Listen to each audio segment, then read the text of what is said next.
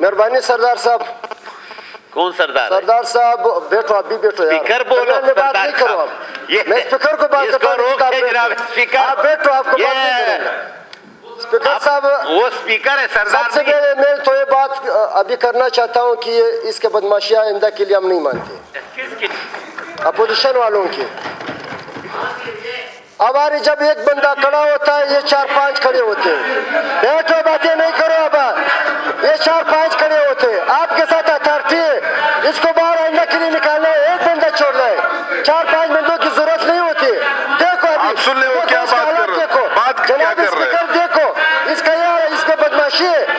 تمہارے بدماشی ہم نہیں مانتے آئندہ کے لیے۔ اگر بات کرتے ہیں تو ایک بندہ کرے گا سو نہیں اٹھ سکتا ہے۔ آپ کے ساتھ آتا ٹھیک تو باہر نکال دو۔ ایک بندہ بات کر رہا ہے۔ آئندہ قلعے سے بندے ہم نہیں چھوڑیں گے۔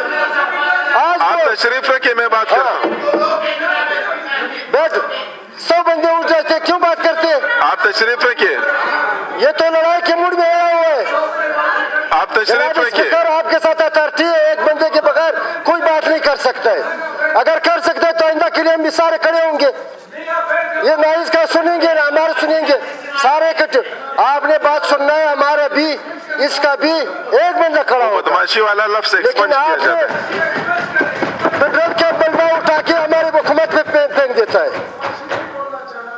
آئندہ کے لیے ایک بندہ اٹھنا ہے اس کا بات ہم سنے گا، ہمارے بہت سننا ہے سب کا۔ اس طرح۔ سمجھ گئے ہو؟ ہاں ٹھیک ہے۔ ابھی سمجھ گئے؟ آئندہ کے لیے نہیں اٹھنا ہے، مہربانی۔